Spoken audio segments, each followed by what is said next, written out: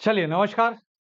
तो सभी भावी भविष्य के होने वाले सभी शिक्षक बंधुओं का बहुत-बहुत स्वागत है आपके प्रिय प्लेटफ़ॉर्म सचिन एकेडमी के यूट्यूब क्लासेस पे। तो फटाफट तेज़ी से सभी के सभी साथी जो है इस सत्र के साथ, इस सेशन के साथ जुड़ जाइए ताकि आज की जो क्लास है इस क्लास को हम लोग प्रारंभ करें। मैं आशा कर रहा हूँ आप सभी के सभी विद्यार्थी जो होंगे वो स्वस्थ होंगे, बेहतर होंगे और बढ़िया ढंग से सचिन अकेडमी के साथ आप लोग अपनी प्रिपरेशन कर रहे होंगे।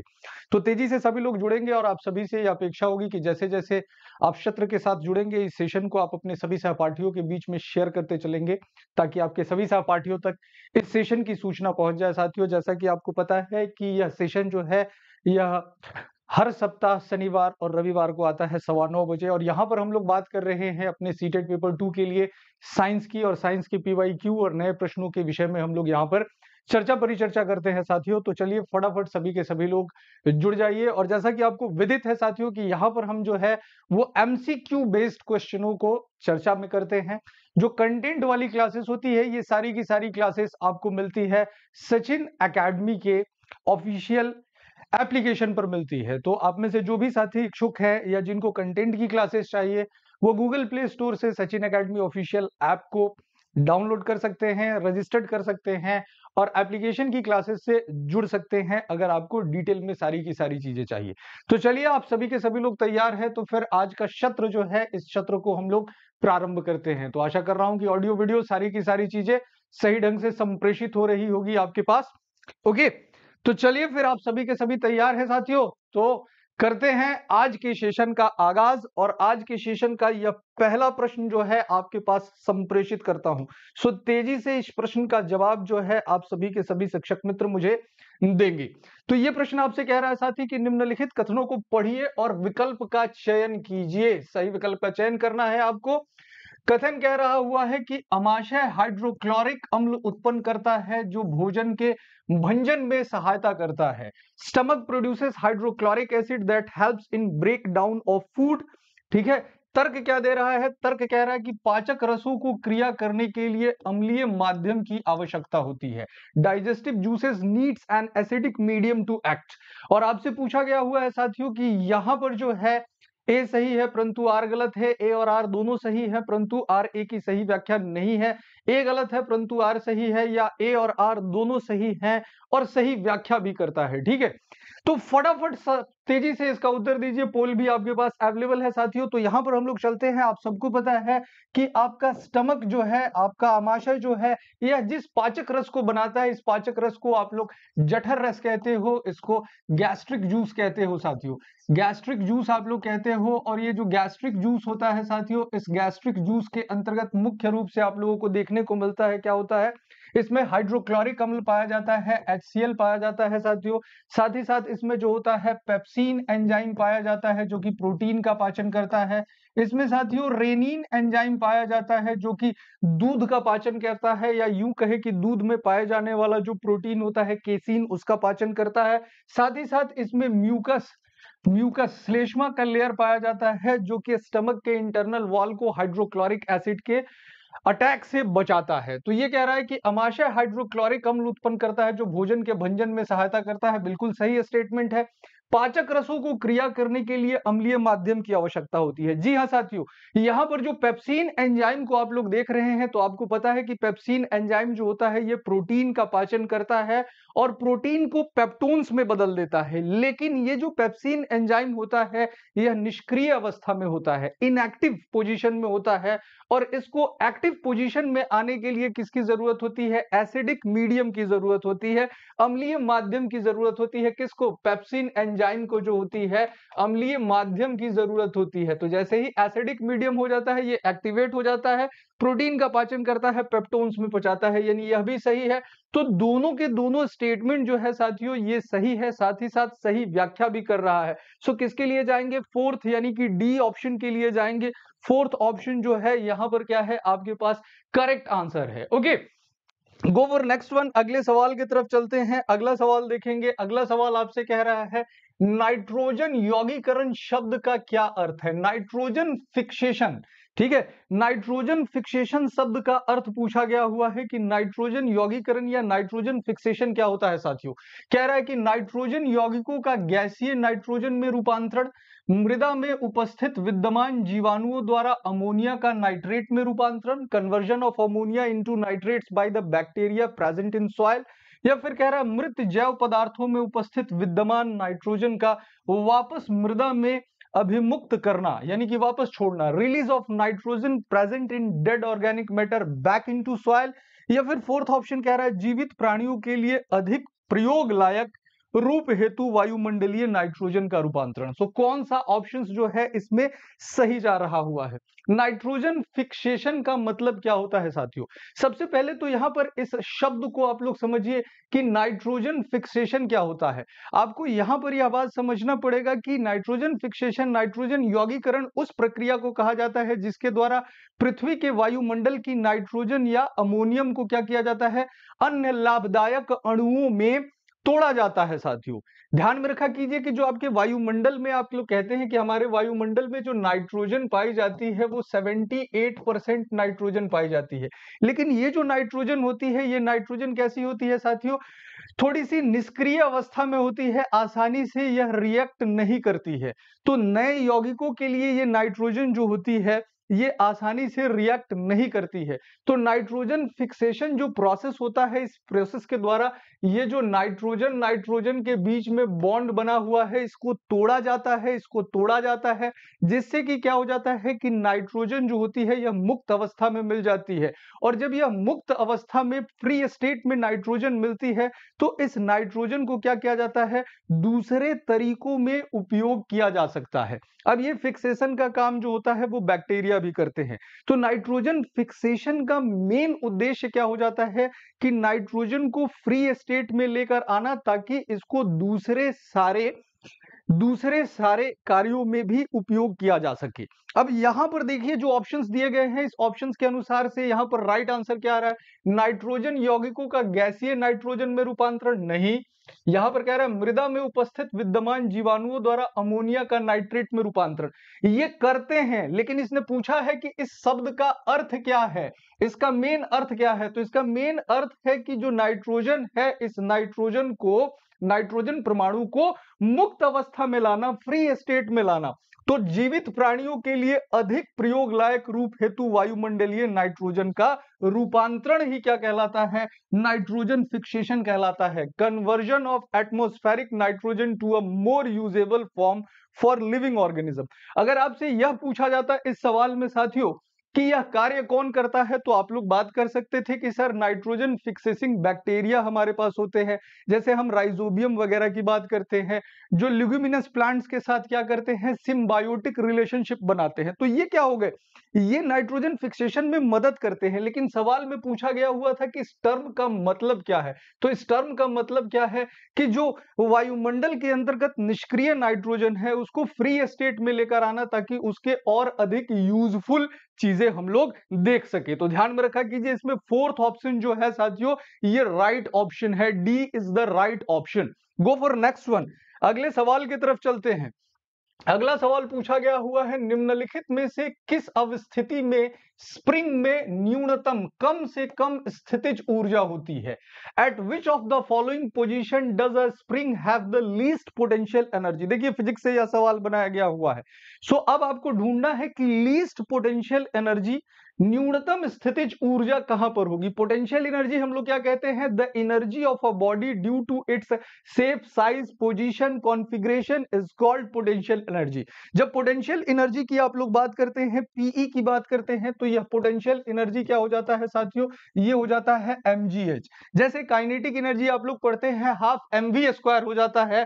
उसी तरीके से जो पोटेंशियल एनर्जी होती है, यह पोटेंशियल एनर्जी क्या हो जाती है? एमजीएच होती है साथियों। ओके तो यहाँ पर आपसे बात पूछा गया हुआ है कि लीस्ट पोटेंशियल एनर्जी कहाँ पर है।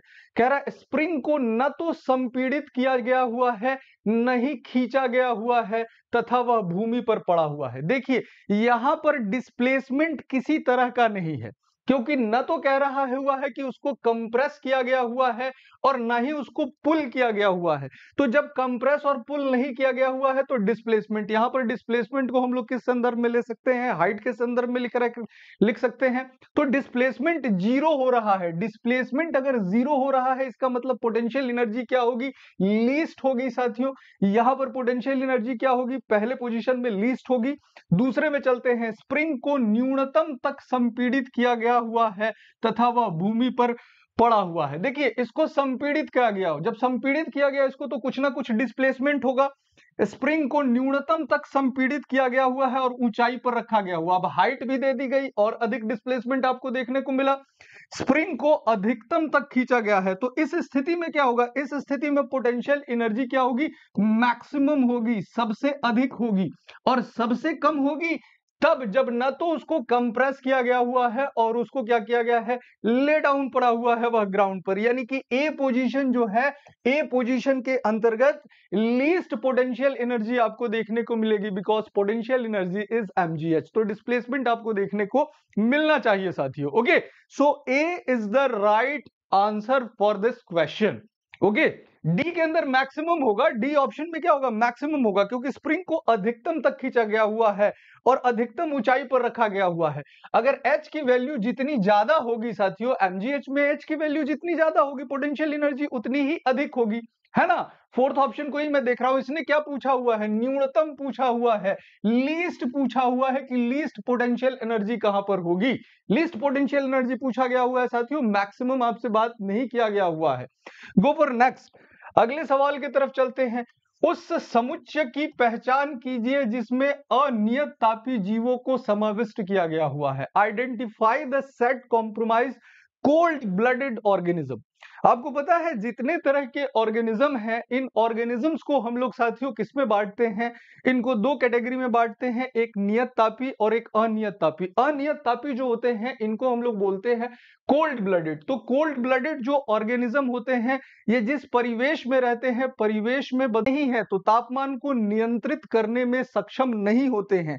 जबकि जो हॉट ब्लडेड होते हैं, वह जिस तरह के परिवेश में रहते हैं, जिस तरह के क्लाइमेट में रहते हैं क्लाइमेट में बदल बदलते हुए क्लाइमेट के अनुसार अपने बॉडी टेम्परेचर को क्या करते हैं एडजस्ट करते हैं, यानी कि क्लाइमेट के टेम्परेचर में चेंज आने से उनके बॉडी टेम्परेचर के अंतर्गत जनरली आपको एक फिक्स्ड टेम्परेचर देखने को मिलता है। तो हमेशा ध्यान में रखा कीजिएगा कि जब भी आप कोल्ड ब्लडेड की बात करेंगे कोल्ड ब्लडेड की बात करेंगे, या जिनको आप लोग क्या कहते हैं साथियों इनको अनियत तापी कहते हैं, अनियत तापी कहते हैं, या इवन इनके लिए आप लोग विषम तापी शब्द का भी उपयोग कर लेते हैं। किसका उपयोग कर लेते हैं?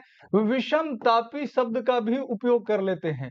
तो कोल्ड ब्लडेड के अंदर किस तरह के ऑर्गेनिज्म आपको देखने को मिलते हैं साथियों? तो कोल्ड ब्लडेड जो होगा, इसके अंदर जितने भी रेप्टाइल्स होते हैं, ध्यान में रखा कीजिए, जितने भी सरीसृप है, जो रेंग के चलते हैं वो सारे के सारे आपको कोल्ड ब्लडेड के अंदर दिखाई देंगे। रेप्टाइल्स जो होते हैं, ये रेप्टाइल्स कोल्ड ब्लडेड के अंतर्गत आते हैं। वहीं पर अगर आप लोग बात कीजिएगा किसके विषय में? उभयचर के बारे में एम्फीबियन के विषय में तो उभयचर जो होते हैं, वह भी इसके अंदर आते हैं। उभयचर जो होते हैं एम्फीबियन जो होते हैं एम्फीबियन जो होते हैं, वो एम्फीबियन भी इसके अंतर्गत आते हैं। इसके बाद आप लोग बात कीजिएगा कि तमाम जो मछलियाँ हैं अब वेल की बात मत करना, क्योंकि वेल स्तनधारी के अंदर आता है तो वेल की बात मत करना। मछलियाँ जो होती है फिशेस जो होती है, ये मछलियाँ आ जाती है कोल्ड ब्लडेड के अंतर्गत। फिशेज आ जाती है साथियों कोल्ड ब्लडेड के अंतर्गत। इसके बाद अगर बात करेंगे तो तमाम जो कीड़े मकोड़े हैं, ठीक है, जो कीड़े मकोड़े हैं साथियों, वो आ जाते हैं। कीड़े मकोड़े जो होते हैं इंसेक्ट्स जो होते हैं, वो आ जाते हैं इस क्लास के अंदर। या जितने भी इनवर्टिब्रेटा होते हैं, अकशेरुक जंतु होते हैं, अकशेरुक। अकशेरुक जीव जो होते हैं, वो सारे के सारे इसके अंदर आ जाते हैं। अकशेरुक के जो है, अकशेरुक जो जीव है, ये आ जाते हैं साथियों। इनवर्टिब्रेटा आ जाते हैं तो ये सब आप जाते हैं आपके पास कोल्ड ब्लडेड में। वहीं पर अगर आप हॉट ब्लडेड की बात करेंगे, ठीक है, नियत तापी की बात करेंगे, या जिसको आप लोग समतापी कहते हैं तो समतापी में कौन कौन से आ जाते हैं साथियों? सभी स्तनधारी आ जाते हैं, सभी मैमल्स आ जाते हैं, स्तनधारी आ जाते हैं। साथ ही साथ जो आपके पास पक्षी है, जो ब्लड है, जो बर्ड्स है, वो बर्ड्स सारे के सारे आ जाते हैं। अब यहाँ पर आप लोग आसानी से इसका उत्तर आप लोग निकाल सकते हो कि सर यहाँ पर उत्तर कौन सा होगा? छिपकली की बात कर रहा है तो छिपकली सरिसृप है, लेकिन तोता पक्षी है तो ये नहीं होगा। इसके बाद देखिए कबूतर, पक्षी है तो यहीं पर यह कैंसिल हो गया। ये भी नहीं होगा क्योंकि पक्षी सारे जो आते हैं वो हॉट ब्लडेड में आते हैं। सर्प सर्प जो होता है वह रेंग के चलता है। तो चलिए ये हो गया। मेंढक मेंढक एक एम्फीबियन है, उभयचर प्राणी है कॉकरोच कीड़े मकोड़े में आ गया। थर्ड ऑप्शन बिल्कुल सही चल रहा है। वेल स्तनधारी होती है। वेल स्तनधारी होती है तो ये नहीं होगा। तो थर्ड ऑप्शन जो जो साथी उत्तर दे रहे हुए हैं, इनका उत्तर बिल्कुल परफेक्ट है। Third is the right answer C is the right answer my friend go for next one अगले सवाल की तरफ़ चलते हैं। अगले सवाल की तरफ़ चलते हैं ओके तो अगले क्वेश्चंस को हम लोग यहाँ पर देखते हैं। अगला क्वेश्चन जो है हमारे पास, ये कह रहा है कि निम्नलिखित में से, देखिए निम्नलिखित में से कौन से मात्रकों के युग्म का समान भौतिक राशि को मापने के लिए प्रयोग किया जाता है? Which of the following pairs of units are use for measuring the same physical quantity same physical quantity को मेजर करने के लिए किसका उपयोग किया जाता है? यहाँ पर आपने यूनिट्स एंड मेजरमेंट्स के विषय में पढ़ा हुआ होगा साथियों। यूनिट्स एंड मेजरमेंट्स के विषय में आप लोगों ने पढ़ा हुआ होगा साथियों। तो यूनिट्स और मेज़रमेंट से यह सवाल आप लोगों को दिया गया हुआ है। सो तेज़ी से आप लोग इसका उपयोग करेंगे और मुझे इसका उत्तर देंगे कि कौन सा यहाँ पर सही है। अब देखिए, पहला देखिए, कह रहा है किलोग्राम मीटर प्रति सेकंड स्क्वायर और दूसरा क्या दे रहा है? एनएम दे रहा है, न्यूटन मीटर दे रहा है, फिर दे रहा है किलोग्राम मीटर प्रति सेकंड स्क्वायर। अब यहाँ पर आप देखिए, सबसे पहले अगर हम लोग बात करते हैं कि यहाँ पर कौन से जो हैं आपके पास एक जैसे हैं, समान भौतिक राशि को निरूपित कर रहे हुए हैं साथियों। तो सबसे पहले देखिए कि जो आपके पास एनर्जी होता है एनर्जी का ऐसा यूनिट क्या होता है? एनर्जी को किसमें एक्सप्रेस करते हैं? अगर मैं आपसे पूछूँ कि एनर्जी या ऊर्जा को आप लोग किसमें एक्सप्रेस करते हैं तो आप कहेंगे कि, सर, इसको हम लोग जूल में एक्सप्रेस करते हैं। किसमें एक्सप्रेस करते हैं? जूल में एक्सप्रेस करते हैं साथियों। और एक जूल जो होता है, ठीक है? एक जूल जो होता है साथियों, ये एक जूल किसके बराबर होता है? एक जूल जो होता है, यह इक्विवेलेंट किसके बराबर होता है? तो एक जूल जो होता है साथियों, ये one kilogram metre square per second square के इक्विवेलेंट होता है, ठीक है? साथ ही साथ आपको पता है कि जब एनर्जी के इंटरनेशनल यूनिट की बात करते हैं, international of international unit of energy की बात करते हैं जब आप। इंटरनेशनल यूनिट ऑफ़ एनर्जी की बात करते हैं, इंटरनेशनल यूनिट ऑफ़ एनर्जी की बात करते हैं, ठीक है? जब जूल को कन्वर्ट आप लोग करते हैं तो यह एक जूल जो होता है, यह एक जूल किसके समकक्ष हो जाता है? एक जूल जो होता है, एक वाट सेकंड के समकक्ष होता है। एक वाट सेकंड के समकक्ष होता है। तो यहाँ पर क्या होगा?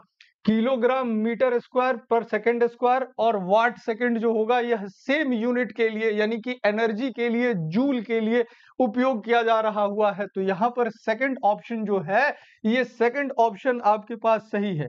क्योंकि पहला ऑप्शन तो देखिए, ये दोनों अलग अलग हो जा रहे हैं। न्यूटन मीटर दिया गया है तो न्यूटन मीटर में किसको करते हैं हम लोग? वर्क को करते हैं। वर्क जो होता है फोर्स इनटू डिस्प्लेसमेंट इसको करते हैं। ठीक है? साथ ही साथ अगर जूल पर सेकंड में देखेंगे तो जूल पर सेकंड किसका यूनिट होता है? पावर का यूनिट होता है। तो यहाँ पर आपको इस ऑप्शन में दोनों के दोनों किसके मिल रहे हैं? एनर्जी के यूनिट मिल रहे हैं, ऊर्जा के यूनिट मिल रहे हैं तो समान भौतिक राशि हो गई। सेकंड ऑप्शन यानी कि बी ऑप्शन जो है आपके पास ये करेक्ट आंसर है माई फ्रेंड। अगले सवाल की तरफ़ चलते हैं मित्रों। अगले क्वेश्चंस की तरफ़ चलते हैं। अगले सवाल को देखें। अगला सवाल जो है यहाँ पर एक स्टेटमेंट दिया हुआ है। इस स्टेटमेंट के अंदर आपको क्या दिया गया हुआ है? कुछ फीलिंग द ब्लैंक्स दिए गए हुए हैं, ठीक है? सो स्टेटमेंट को ध्यान से पढ़िए और फिर फिलिंग द ब्लैंक्स का आप लोग उपयोग करेंगे। निम्नलिखित अनुच्छेद को पढ़िए तथा उस शब्द वाले विकल्प का चयन कीजिए जो कि सही प्रकार से दिए गए क्रम में रिक्त स्थानों को भरे।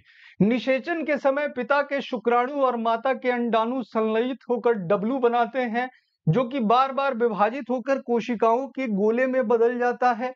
कोशिकाएँ विभिन्न अंगों और उत्तकों में परिवर्धित होने लगती है। इस विकसित होती संरचना को एक्स कहते हैं, जो कि वाई की दीवार में रोपित होता है। एक्स की वह अवस्था जिसमें सभी शारीरिक भागों की पहचान हो जाए, वह जेड कहलाता है। तो डब्ल्यू एक्स वाई जेड जो है, यह क्या है? इसका अंग्रेज़ी वर्जन एक बार हम लोग देखते हैं। इसके इंग्लिश वर्जन को एक बार हम लोग साथियों देख लेते हैं कि यहाँ पर क्या क्या दिया हुआ है, ठीक है? सो so, इसको ध्यान से रीड आउट कर लीजिए। अब अगर आप लोगों ने पढ़ा हुआ है कि इसको रिप्रोडक्शन प्रक्रिया को अगर आप लोगों ने पढ़ा हुआ है तो आप आसानी से इस सवाल का जवाब दे सकते हैं। थोड़ी सी बात यहाँ पर मैं आप लोगों को बताना चाहूँगा ताकि इस सवाल को और आप लोग क्लियर कर ले। इस सवाल को और आप लोग क्लियर कर ले तो थोड़ी सी बात करते हैं। हम लोग बात करते हैं कि जब कभी भी सेक्सुअल रिप्रोडक्शन की प्रक्रिया होती है, क्या होती है साथियों? जब कभी भी हम लोग बात करते हैं, किसके संदर्भ में? सेक्सुअल रिप्रोडक्शन के विषय में बात करते हैं। सेक्सुअल रिप्रोडक्शन की प्रक्रिया के विषय में बात करते हैं, लैंगिक जनन के विषय में बात करते हैं। तो लैंगिक जनन में आपको पता है, दो अलग अलग जो होते हैं, आपके पास क्या हो जाता है गैमिट्स भाग लेते हैं, जिसमें से कि जो मेल से प्राप्त होता है, उसको आप लोग मेल गैमिट्स कहते हैं। मेल गैमिट्स कहते हैं, इसको आप लोग नर युग्मक कहते हैं। जो फीमेल से प्राप्त होता है, इसको आप लोग फीमेल गैमिट्स कहते हैं, मादा युग्मक कहते हैं। फीमेल गैमिट्स कहते हैं, ओके? फीमेल गैमिट्स कहते हैं, मादा युग्मक कहते हैं। अगर हम लोग मनुष्यों के अंदर बात करें तो जो नर युग्मक होता है, इस नर युग्मक को हम लोग किस नाम से जानते हैं? नर युग्मक को हम लोग शुक्राणु के नाम से जानते हैं। तो कुछ इस तरह की संरचना जो होती है, यह आपको शुक्राणु की देखने को मिलती है। इसको आप लोग स्पर्म बोलते हो, स्पम बोलते हो, शुक्राणु बोलते हो। और जो मादा जो मादा गैमिट्स होती है, इसको आप लोग क्या बोलते हो? इसको आप लोग अंडाणु बोलते हो, ठीक है? इसको आप लोग क्या बोलते हो? अंडाणु बोलते हो, इसको ओवा या एग बोलते हो ओवा या एग बोलते हो, साथियों। अब ये स्पर्म जो होता है, यह क्या हो जाता है? यह पेनिट्रेट करता है ओवा या एग को। तो इस स्पर्म के द्वारा क्या हो जाता है? इस ओवा या एग को इस तरीके से पेनिट्रेट किया जाता है। इसमें इसकी जो पूछ होती है, इसके लोकोमोशन में मदद करती है, इसको इसके चलने में मदद करती है तो पूछ पीछे छूट जाती है। अब यहाँ पर इनके जो फ्यूजन की प्रक्रिया होती है इसको हम लोग क्या बोलते हैं? फर्टिलाइजेशन बोलते हैं। फर्टिलाइजेशन बोलते हैं इसको हम लोग क्या बोलते हैं? निषेचन बोलते हैं और इस निषेचन के पश्चात जो संरचना बनती है इसको आप लोग जाइगॉट के नाम से जानते हैं इसको युगमनज के नाम से जानते हैं। युगमनज के नाम से जानते हैं। ये जा, जो जाइगॉट हो जाता है यह फीमेल जो आपके पास यूटरस होता है, उस यूटरस के अंदर प्लांट हो जाता है। फिर ये जाइगॉट जो होता है, ये जाइगॉट जो होता है, बढ़ता है। बढ़कर यह क्या करता है? एम्ब्रियो का निर्माण करता है, इससे भूर्ण बनता है। फिर भूर्ण जो होता है, यह किसका रूप ले लेता है? फीटस का रूप ले लेता है, फीटस का रूप ले लेता है और फिर इससे कंप्लीट बेबी बन जाती है। तो इस तरीके से यह प्रक्रिया जो होती है हमारे पास साथियों, चलती है रिप्रोडक्शन के अंतर्गत। अब यहाँ पर लौट के आ रहे हुए हैं हम लोग जो हमारे पास ऑप्शन दिया गया हुआ था। तो इस हिसाब से हमने क्या कहा था कि ये जो कोशिकाएँ मिल रही हुई थी, मादा अंडाणु, निषेचन के समय पिता के शुक्राणु और मादा के अंडाणु संलयित होकर डब्लू बनाते हैं। तो क्या बना रहे थे? युगमनज बना रहे हुए थे। जो कि बार बार विभाजित होकर कोशिकाओं के गोले में बदल जाता है और उत्तकों में परिवर्तित होने लगती है। इसे विकसित संरचना को भूर्ण कहते हैं। या भूर्ण जो होता है, वह माता के गर्भाशय में रोपित होता है और फिर यह क्या कहलाता है? यह फीटस कहलाता है, गर्भ कहलाता है। यानी सेकंड ऑप्शन जो है, यहाँ पर हमारे पास राइट चल रहा हुआ है। सेकंड ऑप्शन जो है, ये यहाँ पर क्या है? राइट ऑप्शन है। ओके अगले सवाल की तरफ़ चलते हैं साथियों। अगले सवाल की तरफ़ चलते हैं। यहाँ देखिए, आपसे पूछा गया है कि निम्नलिखित अभिक्रियाओं में कौन सी संभव नहीं है। Which of the following reaction are not feasible ये देखिए केमिस्ट्री से क्वेश्चन पूछ लिया गया हुआ है। केमिकल रिएक्शन और केमिकल इक्वेशन वाला जो आपका टॉपिक है, वहाँ से इस सवाल को निकाला गया हुआ है। तो तेज़ी से आप सभी के सभी लोग जो हैं, इसका उत्तर करेंगे मुझे साथियों।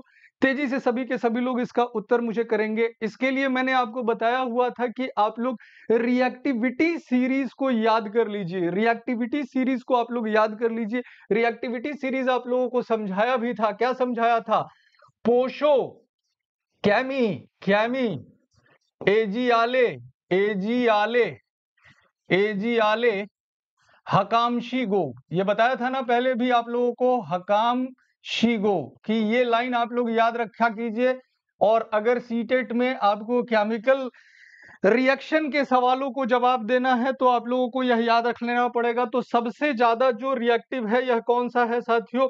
पोटेशियम है, फिर कौन सा है आपके पास? सोडियम है, फिर कौन सा है? कैल्शियम है, फिर आपके पास मैग्नीशियम है, फिर एल्यूमिनियम है, फिर जिंक है, फिर आले। आले का मतलब क्या हुआ? आयरन है, और ले ले का मतलब लेड है पीबी है। इसके बाद हाइड्रोजन हो गया आपके पास। हाइड्रोजन से ही सीरीज़ को मापते हैं। कॉल से क्या हो गया? कॉपर हो गया। और फिर म है तो म से मरकरी हो गई एच जी हो गई सी से सिल्वर हो गया ए जी हो गया और गो से गोल्ड हो गया एयू हो गया। अब ये अगर सीरीज़ आपको पता है तो आप आसानी से इसका उत्तर साथियों दे सकते हैं।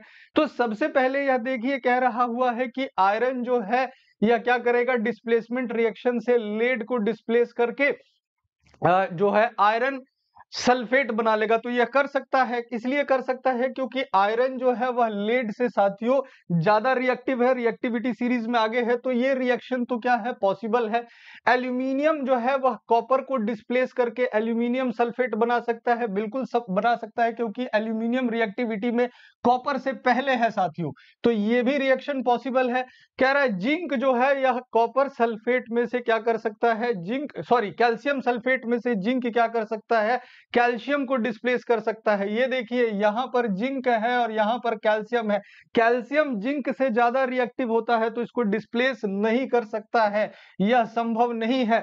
मैग्नीशियम जो है वह जिंक को डिस्प्लेस कर सकता है, बिल्कुल कर सकता है। मैग्नीशियम जो है, यह जिंक से पहले है तो डिस्प्लेस कर सकता है। तो कौन सी संभव नहीं होगी? थर्ड ऑप्शन जो है, सी ऑप्शन जो है वह संभव नहीं होगी। क्योंकि जिंक जो होता है, यह आपके पास कैल्शियम की अपेक्षा जो होता है, यह कम रिएक्टिव होता है तो यह डिस्प्लेस नहीं कर सकता है। तो थर्ड ऑप्शन जो है, यह पॉसिबल नहीं है। अगले सवाल की तरफ़ चलते हैं साथियों। जहाँ नहीं समझ में आएगा, आप कमेंट करेंगे।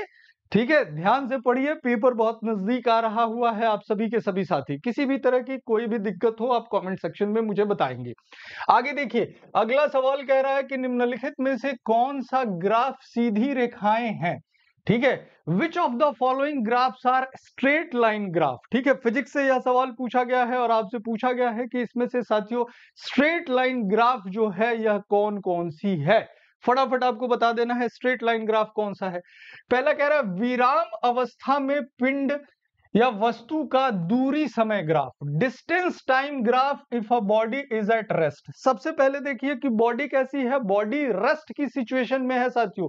तो बॉडी अगर रेस्ट की सिचुएशन में है तो अगर आप डिस्टेंस टाइम ग्राफ करेंगे तो बदलते हुए समय के साथ बॉडी का डिस्टेंस तो सेम ही रहेगा। यानी यह कैसा होगा? सीधी रेखा आएगा तो पहला तो सही है।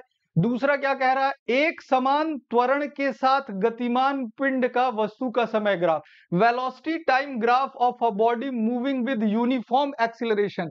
Uniform acceleration के साथ चल रहा हुआ है साथियों।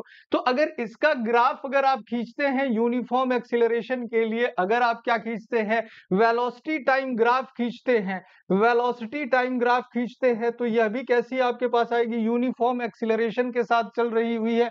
तो ये भी स्ट्रेट लाइन ग्राफ होगी, यानी कि बी भी होगा।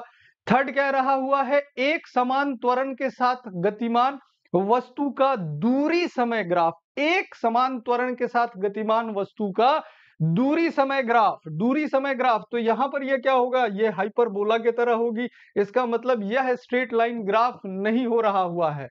और डी क्या कह रहा है? विराम अवस्था में। देखो तो विराम अवस्था में होगी, तब तो कोई चेंज नहीं आएगा। स्ट्रेट लाइन ग्राफ मिलेगा ही मिलेगा मतलब कि डी मिलेगा ही मिलेगा। तो कौन कौन सा सही मिल रहा है? ए बी और डी जो हो रहा है, साथियों, ये आपके पास सही मिल रहा हुआ है। तो ए विकल्प जो है, यह आपके पास क्या है? सही विकल्प है। ए विकल्प जो है, ये आपके पास क्या है साथियों? सही विकल्प है। कौन सा विकल्प सही है? पहला विकल्प जो है, यहाँ पर साथियों, आपके पास सही विकल्प है। ए बी और डी जो हो रहा है, यह स्ट्रेट लाइन ग्राफ आपको मिलेगा साथियों। ओके? अगले सवाल की तरफ़ बढ़ता हूँ। अगले क्वेश्चन की तरफ़ बढ़ता हूँ। यहाँ पर देखिए, आपको कह रहा है चार द्रव ए बी सी और डी के घनत्व नीचे दिए गए हुए हैं। ठीक है, ये द्रव है ए बी सी और डी और इनके घनत्व किलोग्राम मीटर क्यूब में दिया गया हुआ है और फिर कुछ स्टेटमेंट्स दिए गए हैं, जिन स्टेटमेंट्स के आधार पर आपको क्या करना है, इसको देखना है, परखना है और आपसे बात करना है। ठीक है, कह रहा एक बिंब एक बिंब मतलब वस्तु, जो द्रव सी में तैर सकता है, वह द्रव ए में तैर भी सकता है और नहीं भी। एक बिंब जो द्रव ए में तैरता है, वह बी में भी तैर सकता है और नहीं भी। एक बिंब जो द्रव बी में तैरता है, वह निश्चित रूप से द्रव ए में भी तैरेगा। एक बिंब जो द्रव सी में तैरता है, वह निश्चित रूप से द्रव बी में भी तैरेगा। यहाँ पर अंग्रेज़ी का वर्जन ये यहाँ पर दिया हुआ है। अगर आप लोगों ने साथियों पढ़ा होगा घनत्व के आधार पर वस्तु तैरेगी या डूबेगी तो यह दो चीज़ों पर निर्भर करता है। एक, कि वस्तु का घनत्व क्या है? वस्तु का घनत्व क्या है साथियों? ठीक है? वस्तु का घनत्व क्या है? डेंसिटी ऑफ़ ऑब्जेक्ट क्या है? आर्कमिडीज प्रिंसिपल पढ़ा है ना डेंसिटी ऑफ़ ऑब्जेक्ट क्या है? मान लो कि डेंसिटी ऑफ़ ऑब्जेक्ट को हमने D1 मान लिया सपोज़ कर लो। तो दूसरा हमें क्या देखना पड़ेगा? दूसरा हमें देखना पड़ेगा साथियों कि डेंसिटी ऑफ़ लिक्विड क्या है, ठीक है? द्रव का घनत्व क्या है? द्रव का घनत्व क्या है? जिस द्रव में डाला जा रहा हुआ है, उस द्रव का घनत्व क्या है? मान लो ये हमने मान लिया D2 है। डेंसिटी ऑफ़ लिक्विड को हमने क्या मान लिया साथियों? ठीक है डेंसिटी ऑफ़ लिक्विड को हमने क्या मान लिया? D2 मान लिया। अब यहाँ पर देखो क्या हो जाता है। कहता है कि अगर वस्तु का घनत्व, वस्तु का घनत्व क्या है? द्रव के घनत्व से अधिक है। If D1 is greater than D2 ठीक है? यदि वस्तु का घनत्व D1 किसको माने हैं? वस्तु के घनत्व को माने हैं। और D2 द्रव के घनत्व को माने हुए हैं तो इस स्थिति में हम लोग क्या कहते हैं कि वस्तु डूब जाएगी। डूब जाती है, द्रव के अंदर डूब जाती है, विल शिंक। क्या हो जाएगी? डूब जाएगी साथियों। अब अगर कहते हैं कि दूसरी स्थिति की अगर वस्तु का घनत्व और द्रव का घनत्व डेंसिटी ऑफ़ ऑब्जेक्ट और डेंसिटी ऑफ़ लिक्विड यह दोनों बराबर है तो वस्तु क्या होती है? द्रव के अंदर तैरेगी। ठीक है? Will float. क्या हो जाता है? Will float. ये तैरेगी, लेकिन ऊपर से नज़र नहीं आएगी। ध्यान में रखिएगा, विल फ्लोट यह तैरेगी, लेकिन नज़र नहीं आती है, नज़र नहीं आती है, यानी कि द्रव के अंदर तैरती है। और अगर ये स्थिति आती है कि वस्तु का घनत्व द्रव के घनत्व से कम है तो इस स्थिति में वस्तु का कुछ भाग, वस्तु का कुछ भाग द्रव के ऊपर, द्रव के ऊपर, द्रव के ऊपर तथा कुछ भाग तथा कुछ भाग द्रव के अंदर तैरता है। कुछ भाग जो होता है, यह कहा होता है? द्रव के अंदर तैरता है। जैसे आपने आइस के केस में देखा होगा साथियों कि आइस के केस में हम लोग बात करते हैं तो आइस के केस में हम लोग क्या देखते हैं कि आइस के केस में जब बात होता है तो वन टेंथ पार्ट जो होता है, वह ऊपर होता है नाइन टेंथ पार्ट जो होता है, वो अंदर होता है। अब यहाँ पर इस स्टेटमेंट को पढ़ लेते हैं। एक वस्तु जो द्रव सी में तैरता है सी में तैर रहा है तो सी के अंदर डेंसिटी कितनी है? 924 है। वह द्रव ए में भी तैर सकता है। ए में भी तैर सकता है क्योंकि ए की डेंसिटी सात है तो डेंसिटी कम है। जिसकी डेंसिटी कम होती है, वह ऊपर जाता है, जिसकी डेंसिटी ज़्यादा होती है, वह नीचे जाता है तो तैर भी सकता है, नहीं भी तैर सकता है, बिल्कुल, क्योंकि वस्तु की डेंसिटी के बारे में स्टेटमेंट में कुछ भी नहीं कहा गया है ऑब्जेक्ट के डेंसिटी के बारे में कुछ भी नहीं कहा गया है मतलब ये स्टेटमेंट बिल्कुल सही है, कह रहा, एक बिंब जो द्रव ए में तैरता है, वह द्रव बी में भी तैर सकता है ए में तैर रहा हुआ है बी में भी तैर सकता है, नहीं तैर सकता है, क्योंकि बी का घनत्व जो है ए के घनत्व से अधिक है एक बिंब जो द्रव बी में तैरता है, वह निश्चित रूप से द्रव ए में भी तैरेगा। बी में तैर रहा हुआ है ए में। वस्तु के घनत्व के बारे में नहीं कह रहा है कुछ भी, यानी कि यहाँ भी ये भी स्टेटमेंट पूरा नहीं हुआ है। और एक बिंब जो द्रव सी में तैरता है, वह निश्चित रूप से द्रव बी में तैरेगा।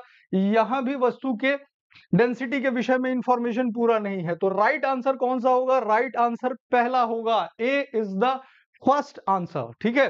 A is the right answer okay अगले सवाल की तरफ़ चलते हैं साथियों। यहाँ पर पहला ऑप्शन जो था, ये हमारे पास क्या था साथियों? राइट आंसर था। अगले पे चलिए, अगला देखिए। निम्नलिखित कथनों को पढ़िए तथा सही विकल्प का चयन कीजिए, ठीक है?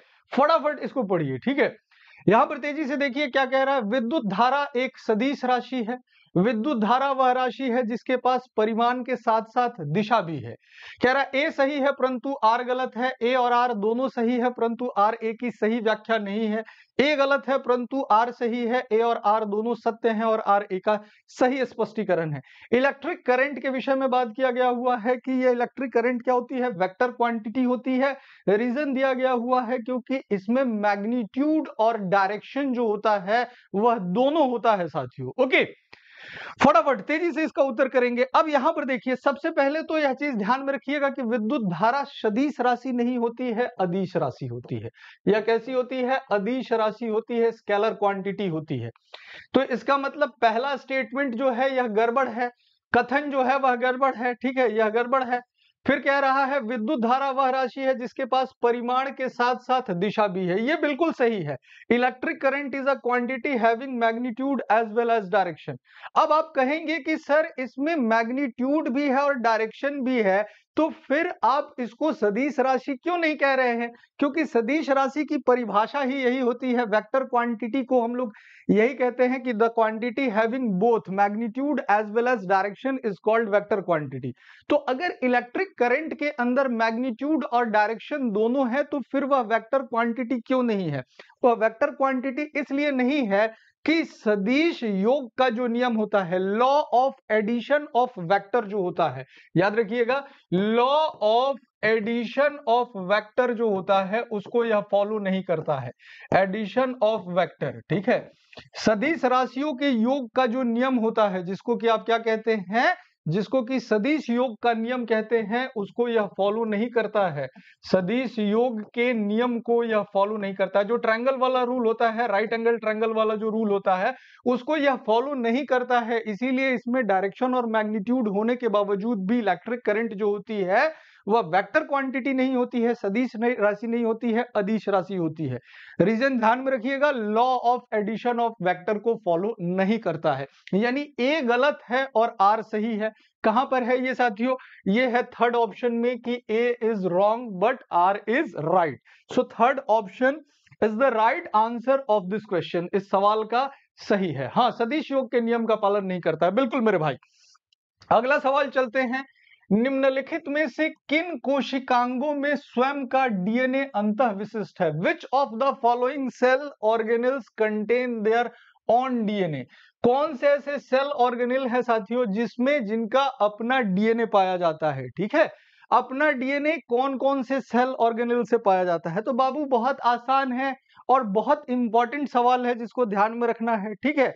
अब देखते हैं, कई बार रिश्ते होते हैं। रिश्ते होते हैं तो भैया रिश्ता लड़की के लिए रिश्ता ढूंढते हैं तो लोग पूछते हैं, लड़का क्या काम करता है? तो आजकल तो सरकारी नौकरी कम ही मिल रही है भाई। प्राइवेट नौकरी मिल रही है और जब से उन्नीस सौ इक्यानवे से एलपीजी पॉलिसी आई, लिबरलाइजेशन, ग्लोबलाइजेशन, प्राइवेटाइजेशन तो बात होने लगी कि कहते हैं कि लड़का क्या करता है? तो लड़का एमएनसी कंपनी में काम करता है। किसमें काम करता है बाबू? एमएनसी कंपनी में लड़का काम करता है। मल्टीनेशनल कंपनी में लड़का काम करता है तो मल्टीनेशनल कंपनी में काम करता होगा तो बाबू डॉलर में कमाता होगा तो लड़की से शादी कर देंगे। तो एमएनसी को याद रखा करो। एमएनसी में क्या है? माइटोकॉन्ड्रिया। माइटोकॉन्ड्रिया जो होता है बेटा, इसका अपना डीएनए पाया जाता है। एन जो है न्यूक्लियस। न्यूक्लियस केंद्रक का अपना डीएनए पाया जाता है और सी है क्लोरोप्लास्ट। क्लोरोप्लास्ट जो होता है, हरित लवक जो होता है, इसका अपना डीएनए पाया जाता है।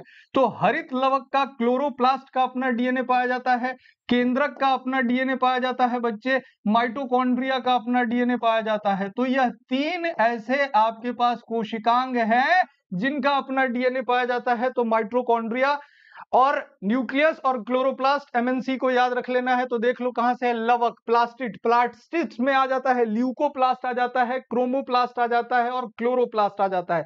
तीन होते हैं ना प्लास्टिक्स जो केवल, प्लास्टिड्स केवल प्लांट सेल के अंदर पाए जाते हैं। तो पहला तो हो गया ठीक है, माइट्रोकॉन्ड्रिया दूसरा भी सही हो गया, न्यूक्लियस नाभिक या केंद्रक, ये भी सही हो गया, वैक्यूल के अंदर नहीं पाया जाता है तो एबीसी हो गया बच्चे एबीसी कहाँ पर है थर्ड ऑप्शन के अंदर है।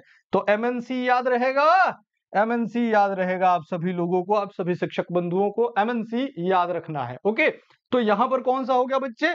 आपके पास जो हो गया, यहाँ पर third option is the right answer C is the right answer अगले सवाल की तरफ़ चलते हैं। अगला सवाल देखिए ये कह रहा हुआ है कि निम्नलिखित में से कौन सा कथन जीवित जीवों की कोशिकाओं के संबंध में सही है?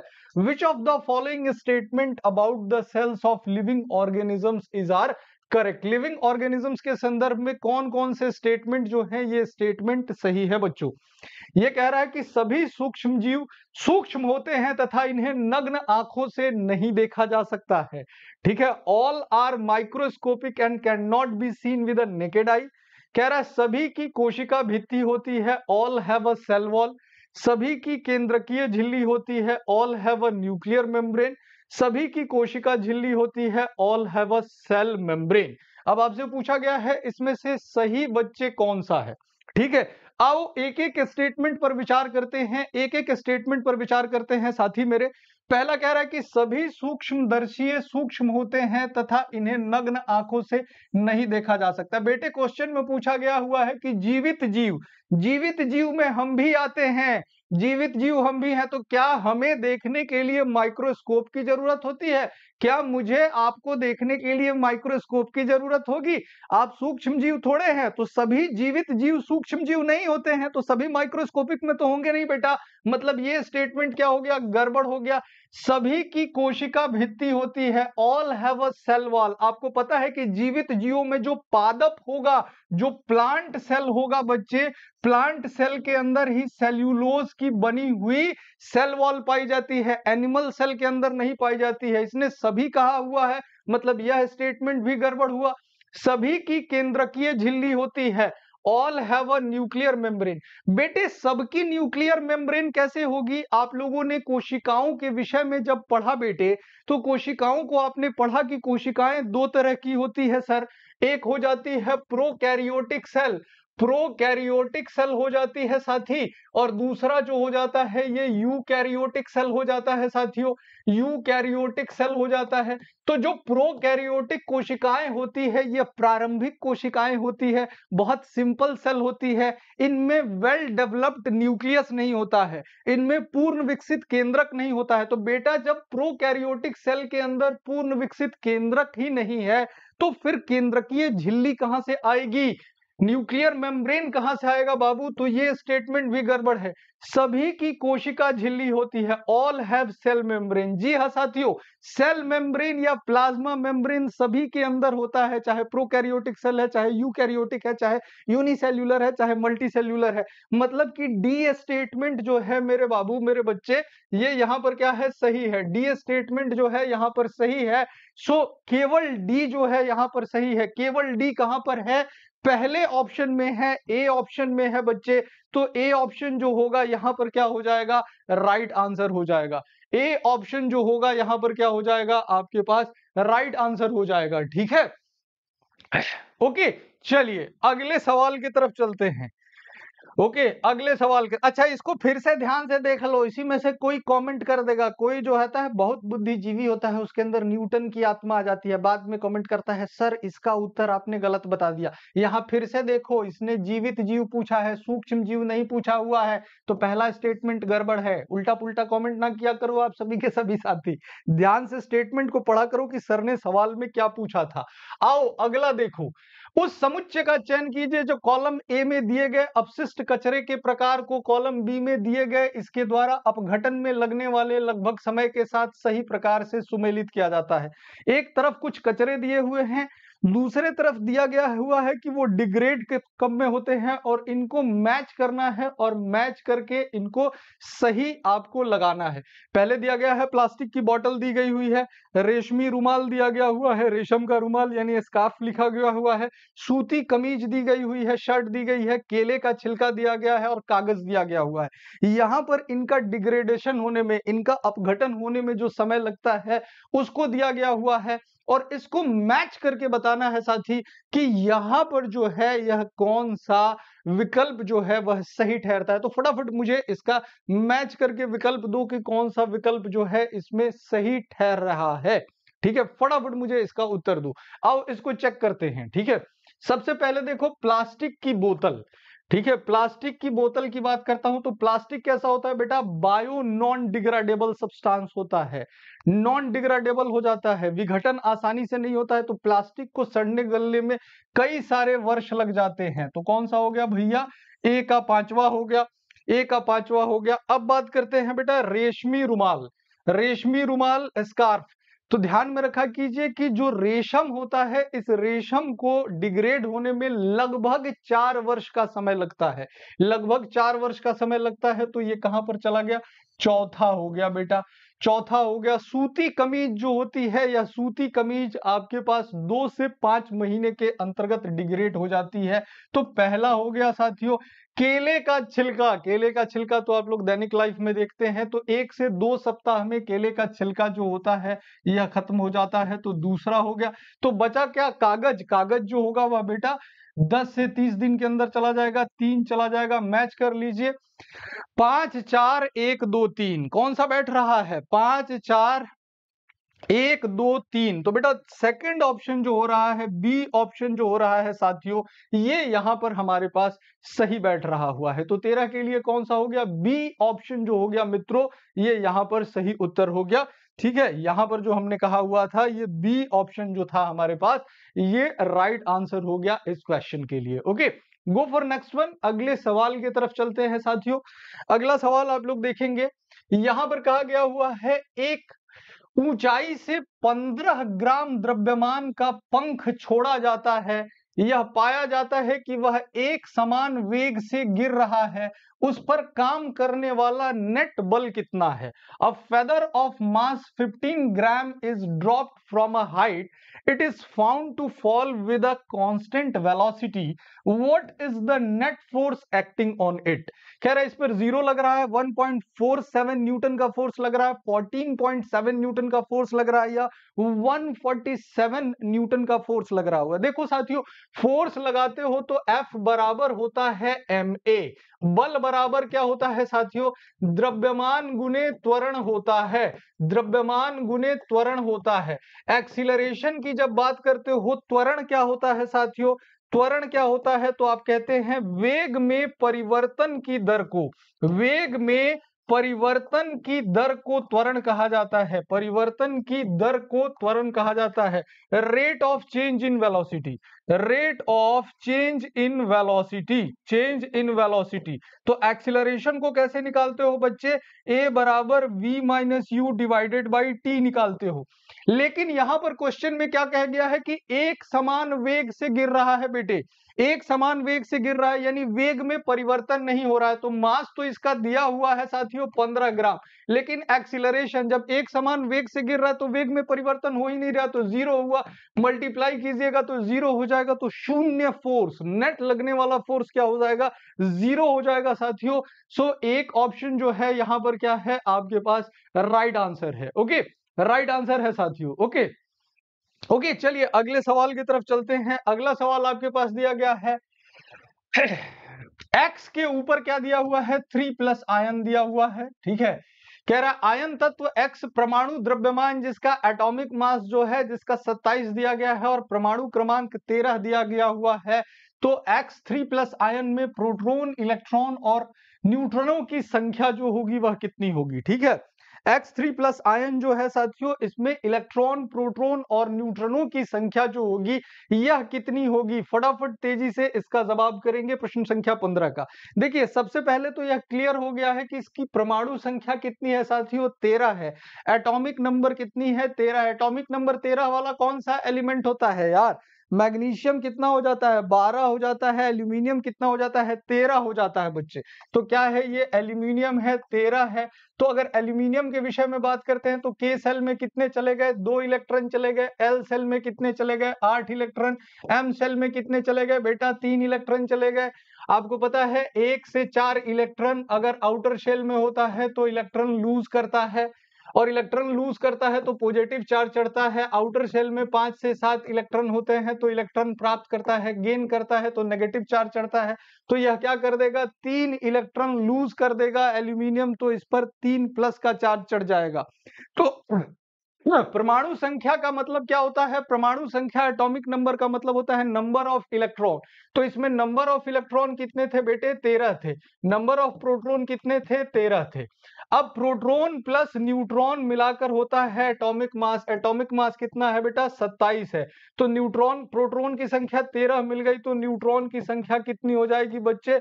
न्यूट्रॉन की संख्या हो जाएगी सत्ताईस माइनस तेरह। तो कितना हो गया बेटे? चौदह हो गया। चौदह हो गया तो न्यूट्रॉन की संख्या निकल गई, चौदह और प्रोटॉन की संख्या निकल गई तेरह। लेकिन याद रखा कीजिए, इसने तीन इलेक्ट्रॉन लूज कर दिया है। तो पहले तो इलेक्ट्रॉन तेरह थे, लेकिन आयन बनाया तो तीन इलेक्ट्रॉन लूज कर दिया।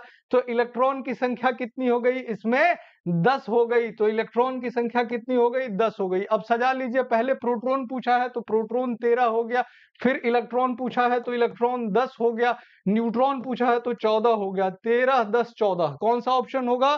तेरह, दस, चौदह, साथियों, कौन सा ऑप्शन जा रहा है? चौथा ऑप्शन जो है, यहाँ पर सही जा रहा है।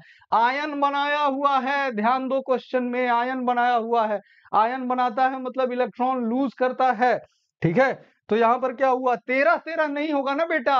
ये दिया हुआ है एल्यूमिनियम आयन दिया हुआ है बेटा। आयन जब बनाएगा तो इलेक्ट्रॉन लूज करेगा ना। कितने इलेक्ट्रॉन लूज करेगा? आउटर शेल में कम से कम आठ इलेक्ट्रॉन चाहिए। आउटर शेल पूरा भरा नहीं हुआ है बेटा। तो तीन इलेक्ट्रॉन लूज कर देगा। जब तीन इलेक्ट्रॉन लूज कर दिया तो बेटा एल सेल और के सेल मिलाकर आठ और दो, दस ही तो इलेक्ट्रॉन हुए। दस ही तो इलेक्ट्रॉन हुए मेरे भाई। तेरह इलेक्ट्रॉन क्यों कह रहे हुए हो? ठीक है तेरह इलेक्ट्रॉन क्यों कह रहे हो मेरे बंधु? ठीक है, अगले सवाल पे चलते हैं। अगले क्वेश्चन पे चलते हैं। अगला क्वेश्चन है, उस समुच्चय की पहचान कीजिए जिसमें द्विलिंगी पुष्प फूलों को उत्पन्न करने वाले पादपों से बना है। देखिए बाइसेक्सुअल और यूनिसेक्सुअल ठीक है, द्विलिंगी और एक लिंगी द्विलिंगी उनको कहा जाता है जिनके अंदर क्या हो जाता है? स्त्री केशर और पुंकेशर दोनों होता है। स्त्री केशर और पुंकेशर दोनों होता है। यानी जिसके अंदर पिस्टल भी होगा पिस्टल भी होगा साथियों और स्टेमन भी होगा स्टेमन भी होगा। इनको हम लोग क्या कहते हैं? द्विलिंगी कहते हैं जिसमें केवल एक ही होता है। या तो नर भाग होता है या मादा भाग होता है उसको एक लिंगी कहा जाता है। तो यहाँ पर आपसे पूछा गया हुआ है साथियों की द्विलिंगी की बात करना है तो सबसे पहले दिया गया है खीरा। खीरा कैसा होता है? एक लिंगी होता है, पपीता कैसा होता है? एक लिंगी होता है, गुलाब कैसा होता है? द्विलिंगी। तो पहला समुच्चय तो साथियों गड़बड़ हो गया। सरसों कैसा होता है बेटा? सरसों जो हो जाता है, यह द्विलिंगी हो जाता है, गुलाब द्विलिंगी हो जाता है। पिटूनिया पिटूनिया, जो कि दक्षिण अमेरिका से, मूल रूप से दक्षिण अमेरिका से आई हुई एक पुष्प की प्रजाति होती है। यह कैसी होती है? द्विलिंगी होती है। यानी यहाँ पर यह ऑप्शन सही चल रहा हुआ है। थर्ड ऑप्शन में देखिए, आपसे बात कर रहा है, मक्के की बात कर रहा हुआ है साथियों। मक्का एक लिंगी होता है। खीरा एक लिंगी होता है तो यहीं पर गड़बड़ हो गया। पिटूनिया तो द्विलिंगी होता है, फिर से मक्का दे दिया, पपीता दे दिया, एक लिंगी होता है, सरसों द्विलिंगी होता है। सो सारे द्विलिंगी किसमें है? बाइसेक्सुअल किसमें है? सेकंड में है मस्टर्ड रोज पिटूनिया ठीक है? मस्टर्ड रोज और पिटूनिया जो है, ये सारे के सारे आपके पास क्या है? द्विलिंगी है। द्विलिंगी पुष्पों को पूछा गया है। एक कौन कह रहा है भाई? है? एक कौन कह रहा हुआ है? अरे कल 31 जनवरी है मेरे भाई, कल 30 सॉरी 31 जनवरी कह रहा हूँ 31 दिसंबर है। पार्टी आज से ही करना शुरू कर दिए हो क्या? आज से ही पार्टी शुरू हो गई है क्या? ये ऑप्शन आ रहा है, भाई कल पार्टी कर लेना, और कल भी क्लास है। ठीक है, पार्टी करके मत आ जाना, पार्टी करके पहले ही से आ जाते हो, सवाल उल्टा सीधा जवाब दे देते हो, बाद में कहते हो सर में ही गड़बड़ है। सो कौन सा उत्तर सही है बेटा? उत्तर सेकंड जो है, यहाँ पर हमारे पास सही है। अगला सवाल देखिए। अगला सवाल कह रहा है, एक पदार्थ एम को चम्मच में गर्म करके तुरंत एक गैस के मर्तबान से रखकर ढक दिया गया। थोड़ी मात्रा में पानी मर्तबान में डाला गया और घोल का नीले लिटमस पेपर से परीक्षण किया गया। कागज़ का रंग लाल हो गया। भैया, नीले को लाल कौन करता है? नीले को लाल कौन करता है? नीले से लाल कौन करता है? बाबू, अम्ल करता है। कौन करता है? एसिड करता है। अम्ल करता है। पहली चीज़ तो यह ध्यान में रख लो। अब इसको पहचान करना है सोडियम। सोडियम तो होगा नहीं क्योंकि सोडियम धातु है। और धातु के ऑक्साइड जो होते हैं बेटे, कैसे होते हैं? क्षारिय होते हैं। तो सोडियम धातु है तो यह तो होगा नहीं। एल्यूमिनियम धातु है या तो होगा नहीं क्योंकि धातु के ऑक्साइड अल्कलाइन होते हैं। मैग्नीशियम धातु है, ये तो होगा नहीं। अब बेटा बचा सल्फ़र। सल्फ़र अधातु होता है तो यह क्या हो जाएगा? सल्फ़र ऑक्साइड जो सॉल्यूशन बनेगा, वह सॉल्यूशन कैसा होगा साथियों? अम्लीय होगा। ठीक है नॉन मेटेलिक है, अब अम्लीय होगा तो नीले लिटमस को क्या कर देगा? लाल कर देगा तो डी ऑप्शन जो है वह क्या है? बिल्कुल सही है। डी ऑप्शन जो है वह क्या है? बिल्कुल सही है साथियों। अगले सवाल की तरफ़ चलते हैं। अगला सवाल देखिए। कह रहा है, निम्नलिखित में से कौन से पदार्थ माचिस के निघर्षण पृष्ठ पर विद्यमान होते हैं? लो, ये बिल्कुल बचकाना सा सवाल है। ये बचपन से आप पढ़ते हुए आ रहे हुए हो, ठीक है? माचिस के विषय में तो जानकारी है ही ना? तो चलिए which of the following substance are present on the rubbing surface of the match box जो रब करते हैं जिस सरफेस पर, उस पर कौन सा पदार्थ जो होता है वह पाया जाता है। साथियों, आपने पढ़ा होगा कि माचिस की जो तीली होती है, उस माचिस की तीली की सतह में लाल फास्फोरस का उपयोग हो जाता है और तीली के ऊपर जो होता है, पोटेशियम क्लोरेट का उपयोग हो जाता है। और जो रगड़ने वाली सतह होती है, उसमें कांच के चूर्ण का भी हम लोग क्या करते हैं, उपयोग करते हैं। तो अब यहाँ पर आ जाते हैं तो लाल फास्फोरस तो होगा ही होगा, साथ ही साथ क्या हो जाएगा, ग्लास पाउडर हो जाएगा। कहाँ पर दिया हुआ है? ए ऑप्शन में दिया हुआ इस सवाल में कौन गलती कर रहा है भाई? इस सवाल में भी गलती हो रही है, बताओ, कैसे काम चलेगा? फिर तुम लोग कहोगे कि, सर अच्छा अच्छा बोलिए, हमें आशीर्वाद दीजिए। खाली आशीर्वाद देने से सिलेक्शन थोड़े हो जाएगा, भाई, मेहनत करनी पड़ेगी। ये सवाल भी गड़बड़ हो जा रहा है। कैसे ये सवाल गड़बड़ हो जा रहा है? मुझे तो आश्चर्य हो रहा हुआ है। चलिए, गोद लेना पड़ेगा आप लोगों को। तो यहाँ पर कौन सा हो गया? पहला ऑप्शन सही हो गया। अगले सवाल पर चलते हैं। आइए। ए और बी अपने हार्मोन तब स्त्रावित करते हैं जब उन्हें सी से आदेश प्राप्त होता है। निम्नलिखित में से कौन सा क्रमशः ए बी और सी हो सकता है? A and B secretes their hormone when they receive order from gland C which of the following can A B and C respectively कौन कौन सा हो सकता है? बाबू सी से आदेश प्राप्त होता है। सी से आदेश प्राप्त होता है तो आदेश कौन देगा? आदेश वही देगा ना जो मास्टर ग्लैंड होगा। मास्टर ग्लैंड किसको बोलते हो? पिट्यूटरी को बोलते हो? तो इतना तो क्लियर है कि सी आदेश दे रहा हुआ है तो सी पिट्यूटरी है। और ए और बी अपने हार्मोन तब स्त्रावित करते हैं। अब जाकर देखो, यहाँ पर पिट्यूटरी एक ही जगह पर आपके पास है। पीयूष ग्रंथि, मास्टर ग्रंथि एक ही जगह पर है। कहाँ पर है बेटा? ये है सेकंड ऑप्शन में। सेकंड ऑप्शन में है। देखो सीधे सीधे पकड़ लेंगे। तो थायराइड और एड्रीनल ग्लैंड जो होगा, यह तभी आपके पास हार्मोन सेक्रेशन करेगा। जब क्या होगा पिट्यूटरी मास्टर ग्रंथि से इनको आदेश मिलेगा। बी ऑप्शन अरे बहुत आसान है। हार्मोन जो है, वो बहुत आसान है, याद रखना। चलो बता देता हूँ, बता देता हूँ। देखो, सारे के सारे बैठो और मेरे साथ दोहराओ और याद कर लो। तुम सबको बता देता हूँ, याद रखो। प्यार हमारा, सारे के सारे याद रखा करो। प्यार हमारा, सारे इंडोक्राइन ग्लैंड बता देता हूँ। प्यार तुम्हारा। प्यार हमारा, प्यार तुम्हारा। तुम्हारा प्यारा था, ठीक है? प्यारा था।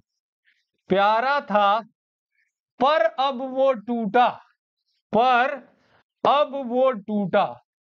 अब वो टूटा। देखो, सारे के सारे जो हैं, आपके पास एंडोक्राइन ग्लैंड याद हो जाएँगे। प्यार हमारा, प्यार तुम्हारा, प्यारा था, पर अब वो टूटा। और फटाफट इसको याद कर लो। देखो, सबसे पहले पी घेरो तो कौन सी ग्लैंड हो गई? पीनियल ग्लैंड हो गई। पीनियल ग्लैंड हो गई। इसके बाद देखो एच को घेरो। एच घेरोगे तो क्या हो जाएगा? हाइपोथैलामस हो जाएगा। हाइपोथैलामस एंडोक्राइन ग्लैंड के अंदर आ गई बेटा। इसके बाद देखो, ये आ गया। इस पी को घेरो तो पिट्यूटरी आ गई। पिट्यूटरी आ गई बेटे। पिट्यूटरी जिसको कि मास्टर ग्रंथि कहते हो। ये टी को घेरो, ये हो गया थायराइड ग्लैंड हो गया। कौन सा हो गया? थायराइड ग्लैंड हो गया। इस पी को घेरो, ये क्या हो गया? पैराथायराइड हो गया। पैराथायराइड हो गया। इस पी को घेरा या क्या हो गया? पराउटू ग्रंथि हो गई पैराथायराइड हो गया। इस टी को घेरा, यह टी क्या हो गया? यह टी हो गया थाइमस ग्रंथि हो गई।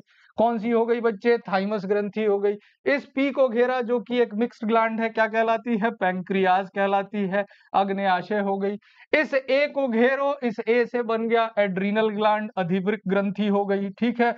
इस ओ से घेरो, फीमेल के अंदर सेक्स हार्मोन बनाती है, ओवरी इसका नाम है, अंडाशय नाम है। इस टी से घेरो, मेल रिप्रोडक्टिव सिस्टम का पार्ट है। ठीक है टेस्टोस्टेरोन हार्मोन बनाता है, इसका नाम क्या है? टेस्टिस है। तो बिल्कुल याद हो गया, सारे के सारे एंडोक्राइन सिस्टम याद हो गए। इसमें से जो ऊपर वाली तीन है पीनियल हाइपोथैलामस पिट्यूटरी ब्रेन में पाई जाती है। गले में आ जाओ थायराइड और पैराथायराइड पाई जाती है। छाती में आ जाओ थाइमस पाई जाती है। स्टमक और छोटी आंत के बीच में आ जाओ स्टमक और जो है आपके पास स्मॉल इंटेस्टाइन के बीच में आ जाओगे पेंक्रियाज पाया जाता है। किडनी के ऊपर चलोगे, क्या पाया जाता है? एड्रिनल पाया जाता है। इसके बाद फीमेल के अंदर चलोगे, उधर के दोनों तरफ़, वेस्ट के नीचे तो ओवरी हो जाएगा और मेल के अंदर क्या हो जाएगा? टेस्टिस हो जाएगा। हो गया सारा काम। आगे आ जाओ।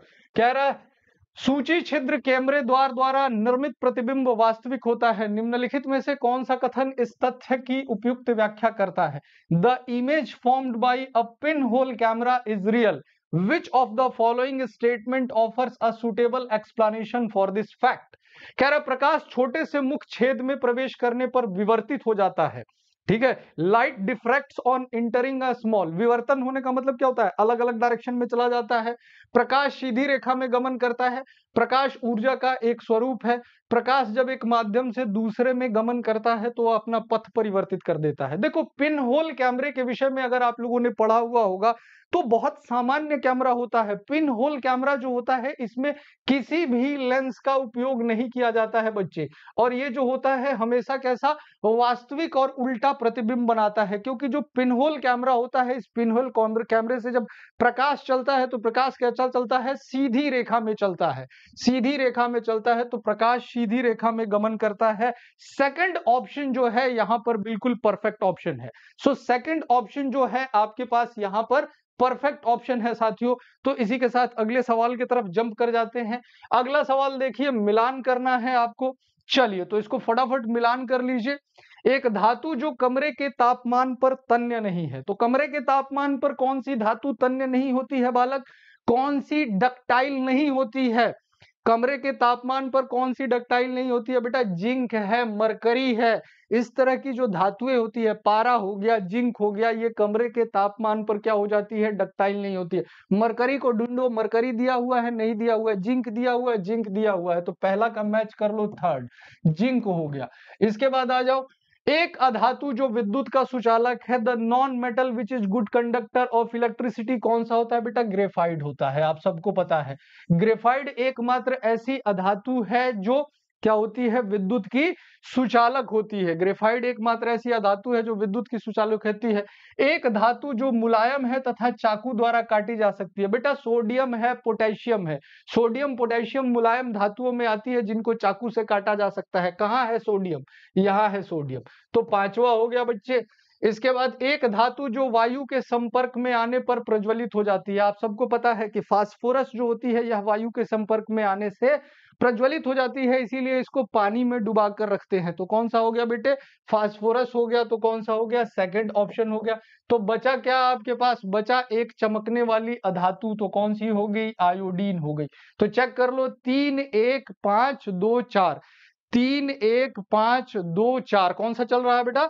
बी ऑप्शन चल रहा है सेकंड ऑप्शन चल रहा है। सेकंड ऑप्शन चल रहा हुआ है, यहाँ पर कौन सा चल रहा था? सेकंड ऑप्शन चल रहा हुआ था, साथियों। ओके अगले सवाल की तरफ़ मूव कर जाते हैं साथियों।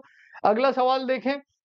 एक गेंद को ऊर्ध्वाधर ऊपर की ओर फेंका जाता है। गेंद को ऊपर की ओर फेंका जा रहा हुआ है। उस पर कार्य करने वालों बलों की पहचान कीजिए, ठीक है? A ball is thrown vertically upwards in the air identify the forces acting on it gravitational force only gravitational force and air resistance वायु का प्रतिरोध काम करेगा। Gravitational force air resistance and force of propulsion extracted by the thrower और कह रहा है केवल वायु का प्रतिरोध बल काम कर रहा है। ठीक है? कह रहा गेंद को ऊर्ध्वाधर ऊपर की ओर फेंका गया हुआ है। साथियों तो उस पर कौन सा बल काम करेगा? इसको मैंने ऊपर फेंका तो आएगा तो लास्ट में नीचे। मतलब कि इस पर गुरुत्व बल तो काम कर रहा है। साथ ही साथ एयर के डिफरेंट परतों में कौन सा बल काम करता है बेटा? शयान बल काम करता है, जो कि विरोधी बल है। कौन सा है? विस्कस फोर्स है। विस्कस फोर्स है यहाँ पर। विस्कस फोर्स कहाँ पर काम करता है? लिक्विड के अंदर काम करता है गैस के अंदर काम करता है, जिसको कि वायु का प्रतिरोध बल बोल सकते हैं एयर रेसिस्टेंस फोर्स तो दो फोर्स तो क्लियरली इस पे काम कर रहे हैं। एक गुरुत्व बल कार्य कर रहा है, एक प्रतिरोधक बल काम कर रहा हुआ है। ठीक है? कौन सी ऑप्शन कह रहा है? कि व्यक्ति द्वारा लगाया गया अनुदर, व्यक्ति ने तो बल लगाकर छोड़ दिया, अब कहाँ लग रहा हुआ है? अब कहाँ लग रहा हुआ है? कह रहा है कि फेंका जाता है, उस पर कार्य करने वाले बल व्यक्ति ने तो लगा के छोड़ दिया, अभी कौन काम कर रहा है? अभी उस पर गुरुत्व बल काम कर रहा है और प्रतिरोध, दो ही बल तो काम कर रहे हुए हैं साथियों। सो सेकेंड ऑप्शन जो है, यहाँ पर क्या है? राइट आंसर है। व्यक्ति ने तो उसको फेंक के छोड़ दिया तो वो बल कहाँ काम कर रहा हुआ है? वो बल तो हट गया, वो तो बल हट गया। अब जो बल काम कर रहा है, वह गुरुत्व बल काम कर रहा हुआ है और वायु का प्रतिरोध बल कार्य कर रहा हुआ है। सो सेकंड ऑप्शन जो है, यहाँ पर क्या है? आपके पास राइट होगा ओके राइट होगा। अगले सवाल की तरफ़ चलिए, अगला क्वेश्चन देखेंगे। यहाँ पर इसको फिलिंग द ब्लैंक्स में भरना है, निम्नलिखित वाक्य को पढ़िए तथा उन शब्दों के समुच्चय की पहचान कीजिए जो रिक्त स्थान को सही क्रम में भरते हैं। एक व्यक्ति डैश से पीड़ित है, यदि उसका डैश पर्याप्त मात्रा में डैश हार्मोन नहीं बना रहा हुआ है। चलिए यहाँ पर कह रहा हुआ person suffer from dash if his her sufficient do not dash do not produce the hormone dash sufficient quantities ठीक है, चलिए यहाँ पर पढ़ लेते हैं। एक व्यक्ति डैश से पीड़ित है यदि उसका डैश पर्याप्त मात्रा में हार्मोन नहीं बना रहा गलकंड से पीड़ित है पीयूष ग्रंथि। गलकंड पीयूष ग्रंथि नहीं, ये तो आयोडीन के कारण से होती है, जो थायराइड ग्रंथि बनाती है तो ये तो सही नहीं होगा। गलकंड से है अग्नियाशय, नहीं, ग्वाइटर से होगा तो ग्वाइटर जो होता है यह बनाती है, थायराइड ग्लैंड बनाती है, थायरोक्सिन हार्मोन तो ये तो होगा नहीं।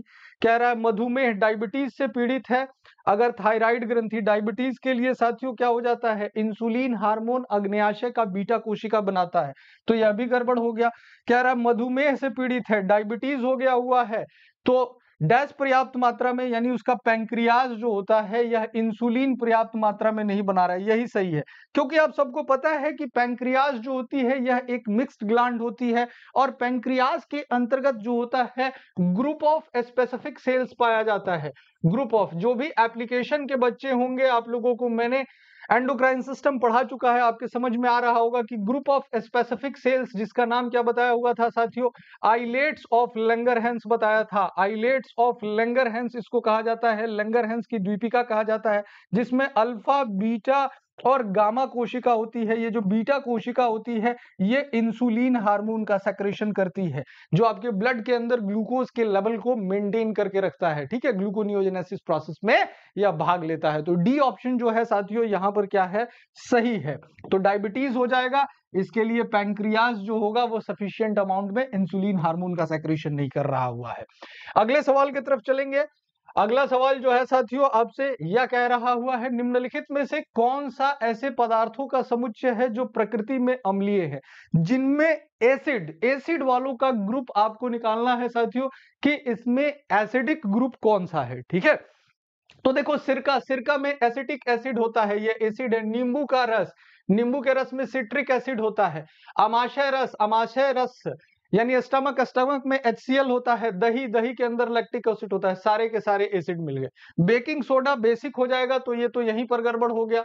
ठीक है? यहाँ पर आ जाइए टूथपेस्ट टूथपेस्ट जो हो जाता है टूथपेस्ट कैसा होता है? बेसिक होता है। इसने अम्लीय पूछा हुआ है तो ये भी नहीं होगा। दही तो हो जाएगा बेकिंग सोडा नहीं होगा। पहला ऑप्शन जो है, यह राइट है। A is the right option A is the right option A में जितने भी है साथियों, सबका नेचर कैसा है? एसिडिक है।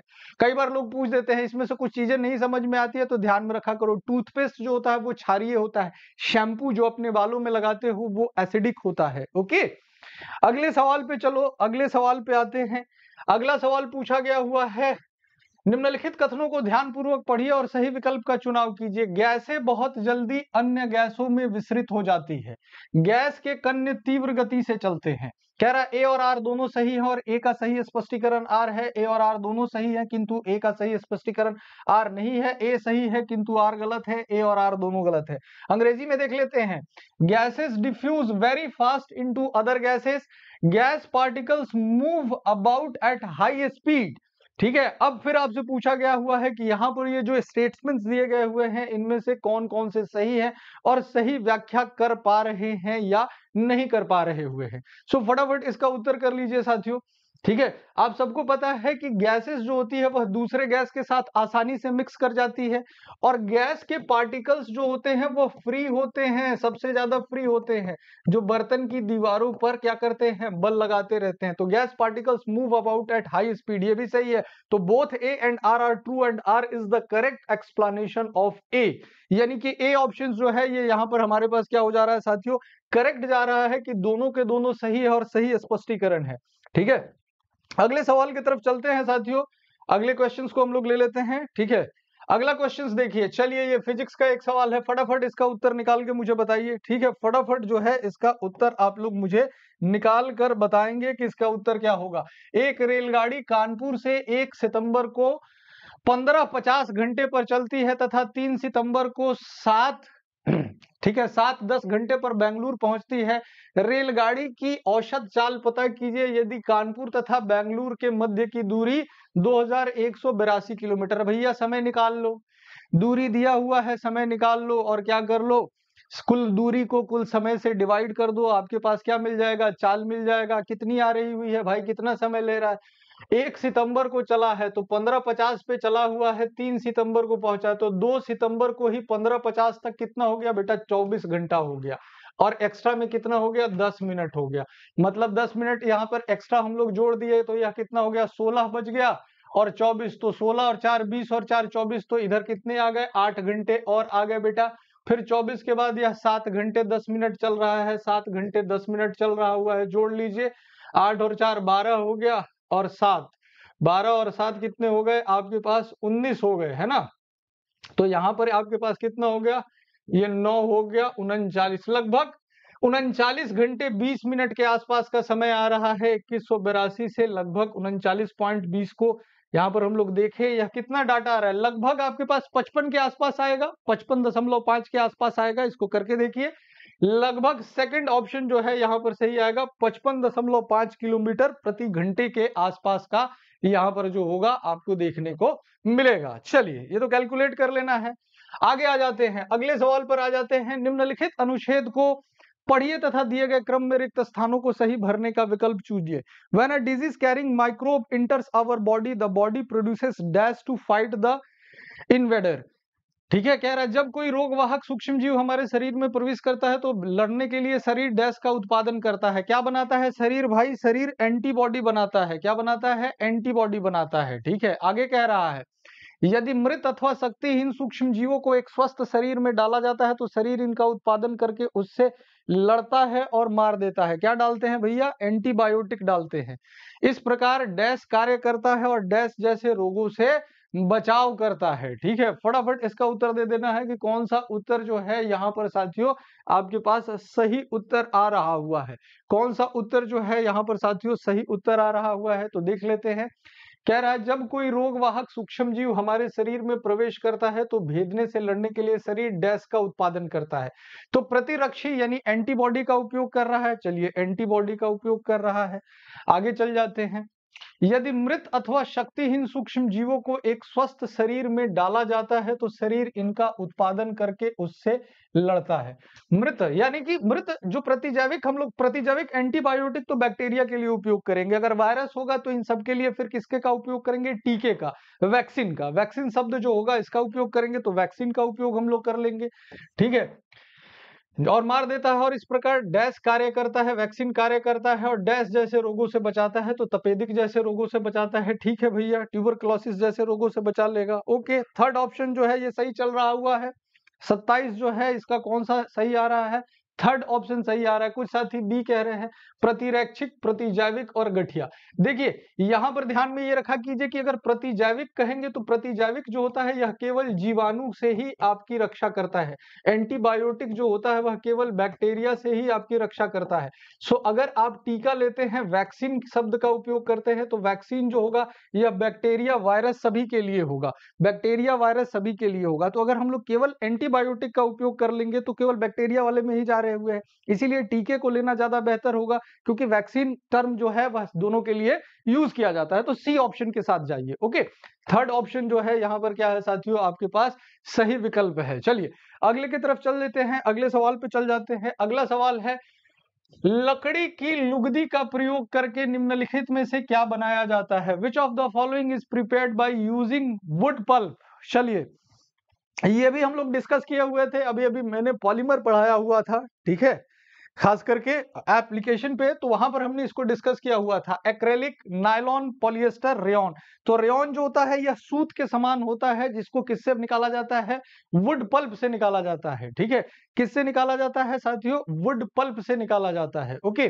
तो रेन जो होता है, नायलॉन जो होता है बेटा, ये सबसे पहला बनाया हुआ रेशा है जो कि अमाइड ग्रुप से बनाया जाता है। पॉलिएस्टर जो होता है, वह एस्टर ग्रुप से बनता है। तो वुड पल्प से किसको बनाया जाता है? रेन को बनाया जाता है, जो कि सूत के समान होता है। इसका उपयोग जो हो जाता है साथियों कपड़े बनाने में हम लोग करते हैं, कालीन बनाने में, कारपेट बनाने में इसका उपयोग करते हैं, मेडिकल इक्विपमेंट्स बनाने में इसका उपयोग करते हैं। तो रेन जो होगा यह क्या होता है, वुड पल्प से निकाला जाता है। फोर्थ ऑप्शन जो होगा, ये राइट ऑप्शन होगा। Go for next one. अगला सवाल देखिए। कह रहा है डब्ल्यू एक रासायनिक पदार्थ है जिसका उपयोग एंटासिड के साथ साथ धोने और बेकिंग उत्पादों में भी किया जाता है। इसकी रासायनिक प्रकृति एक्स है। एक्स में हल्दी का विलियन डालने पर वह वाई में परिवर्तित हो जाता है। डब्ल्यू का सामान्य नाम जेड है। डब्ल्यू एक्स वाई जेड क्रमशः कौन से हैं? चलिए, फटाफट। सबसे पहले तो देखिए कि कह रहा है कि एक केमिकल सब्सटेंस है जिसका उपयोग एंटासिड होता है। ठीक है? एंटासिड बनाने में एंटासिड का का मतलब क्या हो जाता है? जो एसिड के प्रभाव को न्यूट्रलाइज करते हैं, जो एसिड के प्रभाव को न्यूट्रलाइज करते हैं, इनको हम लोग क्या बोलते हैं साथियों? एंटासिड बोलते हैं। क्या बोलते हैं इनको? एंटासिड बोलते हैं। ओके? तो एंटासिड के रूप में देखिए किसका उपयोग किया जाता है? खाने वाला सोडा भी इसको कहा जाता है। कह रहा हुआ है इसको खाने वाला सोडा भी कहा जाता है। तो सोडियम बाइकार्बोनेट हो। जाता है NaHCO3 हो जाता है साथियों। ठीक है? NaHCO3 हो जाता है, जिसको कि हम लोग सोडियम हाइड्रोजन कार्बोनेट के नाम से भी जानते हैं। कह रहा है कि हल्दी के विलयन के डालने में वह वाई में परिवर्तित हो जाता है डब्लू का सामान्य नाम जेड है। ठीक है? तो यहाँ पर आपसे पूछा गया कि यह क्या है? ठीक है भैया? तो सोडियम बाई कार्बोनेट हो गया। ठीक है? अब ये जो हो जाता है, जब प्रकृति के चाहे एक्स में हल्दी का विलयन डालने पर वह वाई में परिवर्तित हो जाता है। मतलब कि क्षारकीय में परिवर्तित हो जाता है। और क्या हो गया? कह रहा है कि वह वाई में परिवर्तित हो जाता है। डब्लू का सामान्य नाम जेड है तो इसको क्या बोलते हैं? बेकिंग सोडा बोलते हैं। खाने में उपयोग हो जाता है और बेकिंग उत्पाद में तो बेकिंग सोडा हो जाएगा। थर्ड ऑप्शन जो है, यहाँ पर यहाँ पर क्या है? राइट ऑप्शन है। बेकिंग सोडा कह रहा हुआ है ना? बेटा वॉशिंग सोडा कैसे हो जाएगा? यहाँ पर देखा, देखो, आपके पास क्या कह रहा हुआ है? बेकिंग के कार्यों में किया जा रहा हुआ है मूल रूप से। ओके बाकी, ध्यान में रखिए इसको। ओके लास्ट प्रश्न ले लेता हूँ आज के सेशन का, ठीक है? आज के सेशन का अंतिम प्रश्न हम लोग ले लेते हैं। ये यहाँ पर आपसे बात किया गया हुआ है साथियों कि विषाणुओं के संदर्भ में निम्नलिखित कथनों को पढ़िए और सही कथनों का चयन कीजिए। इनमें कोशिकीय संरचना नहीं होती है, ठीक है? इनमें डीएनए या आरएनए होता है, ये लघुतम जीवित सूक्ष्म जीव हैं, ये स्वयं प्रजनन कर सकते हैं। देखिए, जब कभी भी हम लोग विषाणुओं के विषय में बात करते हैं साथियों, जब कभी भी हम लोग विषाणुओं के विषय में बात करते हैं तो विषाणु जो होते हैं, ये क्या हो जाते हैं साथियों? ये सजीव और निर्जीव को जोड़ने वाली कड़ी होती है। क्या होती है? सजीव और निर्जीव को जोड़ने वाली कड़ी होती है। आपको पता होना चाहिए कि वायरसेस जो है, इन वायरसेस को सबसे पहले दिमित्री इवानोवेस्की नाम के, इवानोवेस्की नाम के साइंटिस्ट के द्वारा सबसे पहले ढूंढा गया था और सबसे पहला जो वायरस ढूंढा गया हुआ था उसको टीएमवी बोला जाता है। वायरस का, टोबैको मोजाइक वायरस वायरस का अपना कोई सेल्यूलर स्ट्रक्चर नहीं होता है। जिस भी लिविंग ऑर्गेनिज्म में जाता है, उसके सेल स्ट्रक्चर को यूज़ करके यह क्या करता है, अपना जीवन चक्र चलाता है। ओके सो यहाँ पर हम लोग चेक कर लेते हैं कि कौन कौन सी चीज़ें इसमें बात करी है। कह रहा है, इसमें कोशिकीय संरचना नहीं होती है। बिल्कुल सही है। वायरस का अपना कोई सेल स्ट्रक्चर नहीं होता है, क्योंकि नॉन लिविंग थिंग्स है।